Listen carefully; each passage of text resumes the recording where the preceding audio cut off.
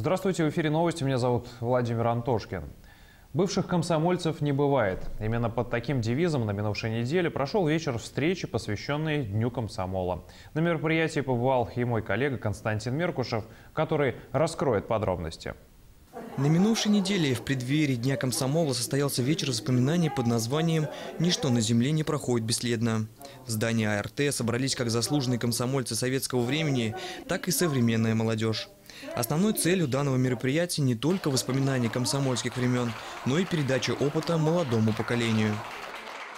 Когда приглашают э, комсомольцев да, и рассказывают им об истории комсомола, они это и так хорошо знают. Да? Это, конечно, приятно слышать цифры и факты, но они как раз эти цифры и факты делали. И лучше, если мы это будем ну, молодым совсем, э, юным общественным деятелям рассказывать. А вот сегодня нам хочется, чтобы они отдохнули, чтобы они, может быть, у молодых людей развеяли миф, что мы были такими правильными, такими, э, вот знаете, всем, все выстроены и не делали никаких ошибок. Нам как раз хочется сегодня вспомнить и курьезы наши жизненные, и какие-то, может быть, э, наши ошибки, проступки, которые тогда, в то время, э, ну не просто были моим секретом, а были вот как-то разобраны на комсомольском собрании. И вот сейчас об этом поговорить, это правильно или это неправильно. Организатором мероприятия в этом году стал молодежно-подростковый центр «Самоцветы» и молодежное общественное объединение. В этот вечер не раз говорили, бывших комсомольцев не бывает. На мероприятие пришли настоящие активисты. В их числе секретари городского комитета, а также люди, которые друг друга знают и продолжают такую же жизненную позицию. Одним из приглашенных – заслуженный комсомол Виктор Сухачев – очень приятно, я даже не ожидал. Так что, конечно, вот мы то поколение, которое еще живая история. Если мы уйдем из жизни, уже вспоминать о комсомоле будет некому. Хотя мы стоим у истоков тех молодежных объединений, движений, которые, которыми сейчас занимаются эти самоцветы.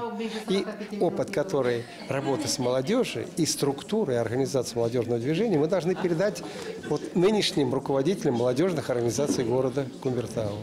У Виктора Ивановича комсомольская работа длилась целых 10 лет. За это время он находился на таких должностях, как заместитель секретаря комитета комсомола, секретарь комитета, секретарь полкома авиационного объединения и заведующий отдела горкома партии. Для него и для других комсомолов на мероприятии звучали песни под гитару, как это было в советские времена в кругу семьи или у костра, отдыхавшие после тяжелой работы. Просматривали фотографии тех времен, а также рассказывали стихотворения пальцев дни. За ними следом годы рвутся, а аэродромные огни навеки сзади остаются. Как под колесами земля бежит стремительно на взлете. Так убегает жизнь моя, я в заключительном полете. Тут не помогут тормоза, тут не удастся скорость снизить. Тут финиш оттянуть нельзя, его возможно лишь приблизить. На протяжении всего мероприятия комсомольцы рассказывали свои истории, вспоминали счастливые моменты того времени, как преодолевали трудности и желали, чтобы вечер воспоминаний комсомольцев продолжался и в дальнейшем. Константин Меркушев, Сергей Николаев, телекомпания «Арис». Кумертауский филиал Оренбургского государственного университета отметил торжественное событие – юбилей первого и единственного директора Валерия Онищенко – Праздничное событие не смогла пропустить и наша съемочная группа.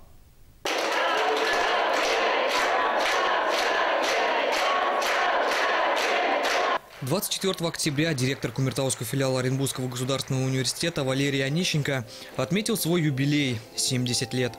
На протяжении многих лет Валерий Алексеевич отдает свой долг университету. С самого утра юбиляра поздравляли студенты и преподаватели Кумертауского филиала. Я поздравляю нашего директора Валерия Алексеевича Онищенко с его юбилеем.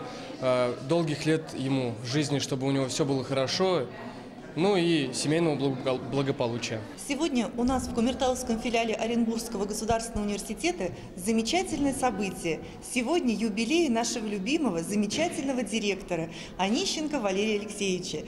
Это замечательный, чудесный человек, педагог и руководитель с большой буквы. Мы с большим уважением хотели бы поздравить Валерия Алексеевича, пожелать ему долгих лет жизни, здоровья, счастья, успехов, семейного благополучия. И чтобы все-все-все даже самые маленькие мечты вашего, Алексеевич, всегда и всегда исполнялись. К поздравлениям присоединились официальные лица не только на местном, но и на республиканском уровне.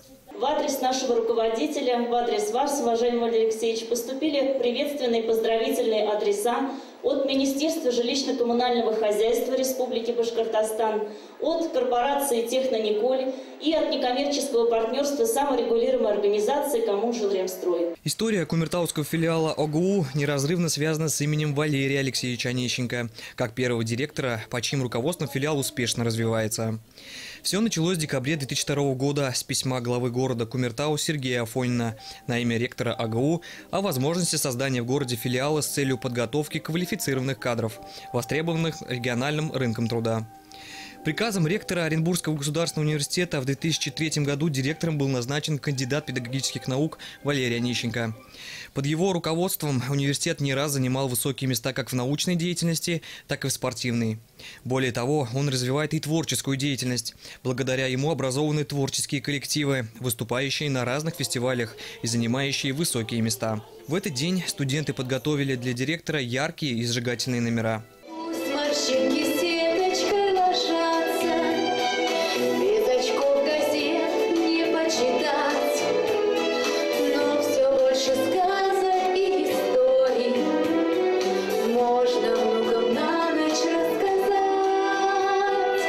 Коллектив телекомпании присоединяется ко всем поздравлениям. Константин Меркушев, Владимир Кузьмин, телекомпания «Арис». 24 октября в Кумертау стартовал Кубок города по баскетболу среди школ. В соревнованиях участвуют как юноши, так и девушки. Первый соревновательный день попал в объектив нашей телекамеры.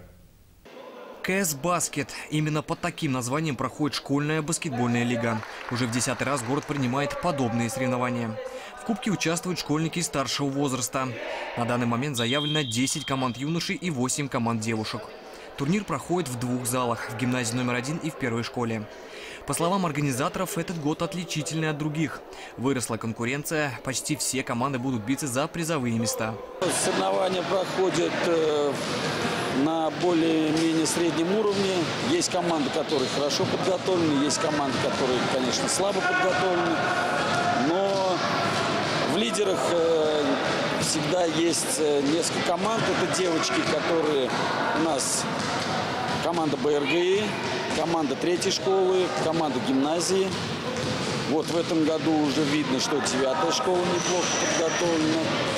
Среди юношей у нас команда это школа номер один, также гимназия один, также БРГ, лицей. Ну, почти все команды на одинаковом уровне. Большое количество сильных команд радует как тренеров, так и зрителей. Матчи становятся более интересными и непредсказуемыми. Но во всех соревнованиях есть свои хорошие стороны и плохие. У нас э, не хватает э, судейского состава, то есть не все учителя умеют судить эти соревнования, не у всех получается, поэтому вот в этом первая сложность. Во втором, как бы залы нам предоставляются, но залы у нас, если сравнивать э, по размерам, то у нас залы нестандартные, то есть меньше, как бы желательно, желательно бы хотелось лучшего. Ну а так по судейству те учителя, которые судят, справляются на оценку хорошо. В первый день было сыграно четыре встречи. Два поединка у юношей, два у девушек. Продлятся соревнования до конца месяца, где и будут выявлены победители школьной баскетбольной лиги КС «Баскет». Константин Меркушев, Ярослав Кондратьев, телекомпания «Арис». Это была последняя информация выпуска. Я с вами прощаюсь. Всего доброго.